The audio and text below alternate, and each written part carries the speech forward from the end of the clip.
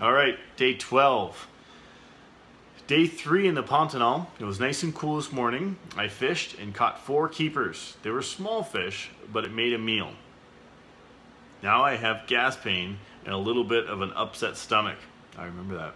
It was kind of bothering me because I ate those three tiny little fish the day before, um, but not a whole lot. And now this, I finally had a meal.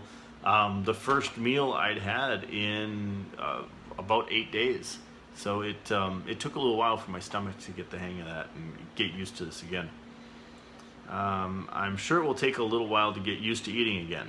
My new camp is great. My bed is hard, but after I put my sleeping bag on it, it was much better. I slept a lot last night. I set a few snares for some birds today. Never did catch anything with those stupid snares. I would like to eat something other than fish. Be careful what you ask for, right? Um, let's see. I read several Psalms this morning and Colossians this afternoon. It's warm today, but there's a nice breeze.